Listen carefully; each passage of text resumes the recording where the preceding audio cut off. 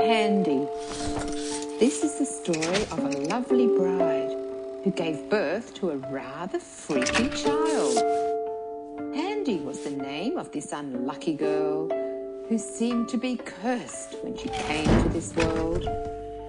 With hands and shoulders almost stuck together, what a pain any single move was for her. When, more often than not, her discrepancy made her sad, she could only think of the many fellows she had.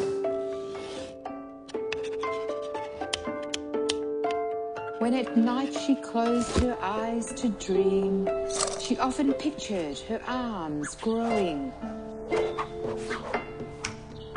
But if her arms were short, her hair was not.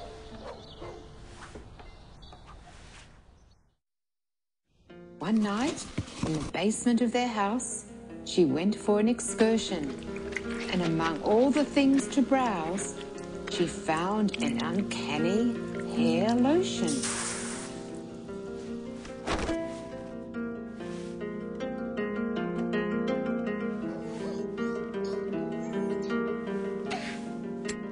She sure had to try it through trouble and strife. And that is how she brought her hair to a new life. As her hair came to gradually replace her hand, she became content with the effects of the blend.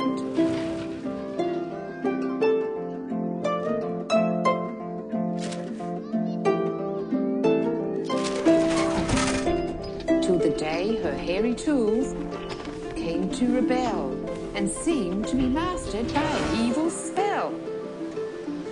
Since stings, chains, and ropes appeared to be of no real use, she found another way to put an end to that abuse.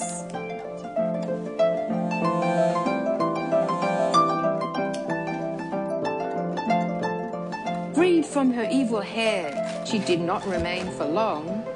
It naturally regrew by itself to do something wrong. When the naughty lively fur had reached the right length, it viciously covered her neck and showed its strength.